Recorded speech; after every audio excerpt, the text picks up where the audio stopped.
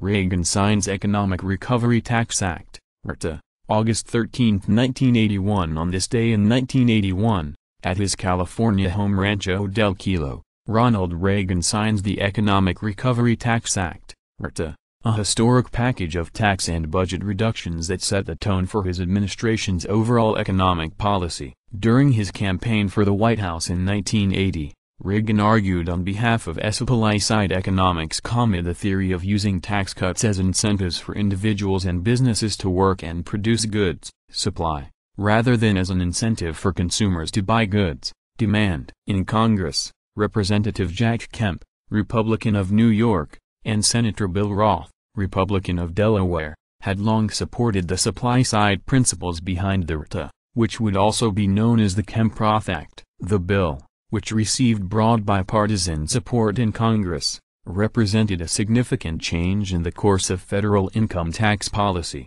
which until then was believed by most people to work best when used to affect demand during times of recession. The ERTA included a 25% reduction in marginal tax rates for individuals, phased in over three years, and indexed for inflation from that point on. The marginal tax rate, or the tax rate on the last dollar earned, was considered more important to economic activity than the average tax rate, total tax paid as a percentage of income earned, as it affected income earned through uh, extra activities such as education, entrepreneurship or investment. Reducing marginal tax rates, the theory went, would help the economy grow faster through such extra efforts by individuals and businesses. The 1981 Act, combined with another major tax reform act in 1986, cut marginal tax rates on high-income taxpayers from 70% to around 30%, and would be the defining economic legacy of Reagan's presidency. Reagan's tax cuts were designed to put maximum emphasis on encouraging innovation and entrepreneurship and creating incentives for the development of venture capital and greater investment in human capital through training and education. The cuts particularly benefited idea industries such as software or financial services.